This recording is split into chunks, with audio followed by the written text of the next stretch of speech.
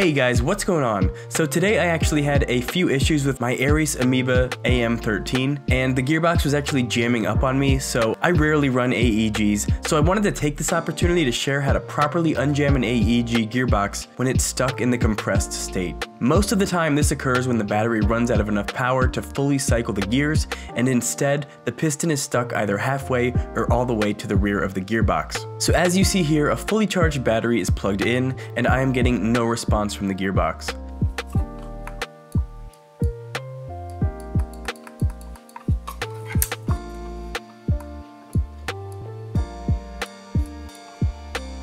A lot of people think you actually need to open up the gearbox and manually reset the gears and piston, but there is a much simpler solution. First, I'm going to remove my entire upper receiver just to make the rifle a little bit smaller to work with.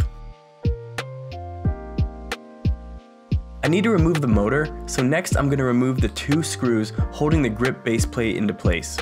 You're going to want to be sure that you only remove the screws located at either end of the base plate. The larger screw in the middle is the motor height adjustment screw, and you do not want to touch that.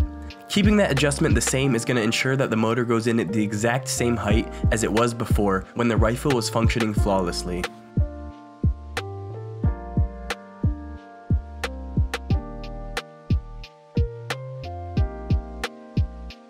And with the base plate gone, we can now see the motor. Pay attention to the orientation here, as well as the connection points and wires. You want to reinstall the motor in the exact same way it was set up if possible. To remove the motor, simply pry off the wire connection points and in a rather similar fashion, you can now pry out the motor itself.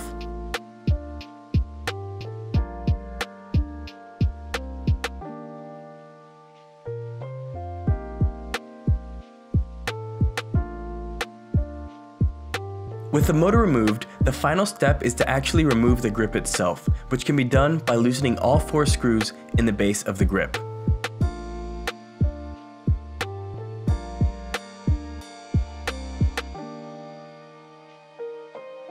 You're going to want to make sure that the wires don't snag when you're pulling off the grip.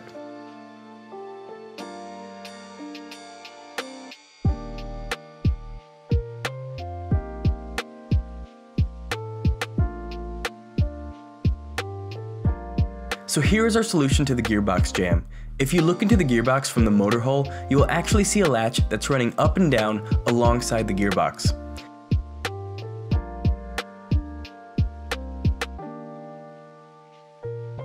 This is an anti-reversal latch, and it does exactly that. It keeps your gears from spinning the wrong way. Using a thin hook, you can reach down into the motor hole, grab that latch, and pull it straight towards the motor hole, releasing the compression from the springs. I actually made my own tool for this job by simply taking an extra grenade pin, unfolding it all the way, and then using pliers to bend it into a hook-like shape.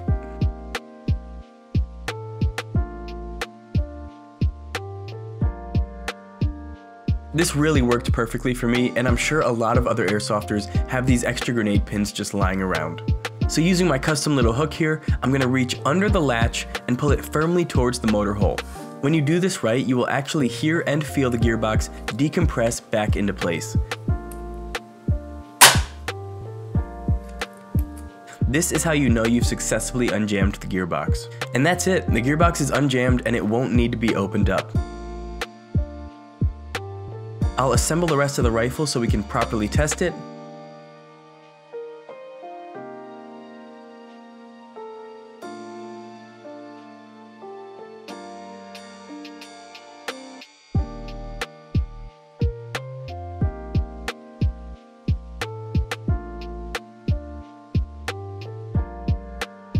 And just as expected, with the same exact battery going back into the rifle, it is now fully cycling on semi and full auto modes.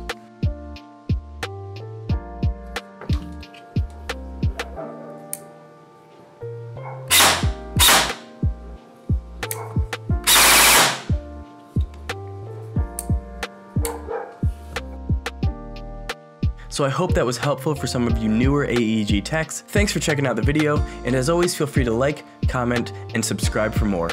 I'll catch you guys in the next one.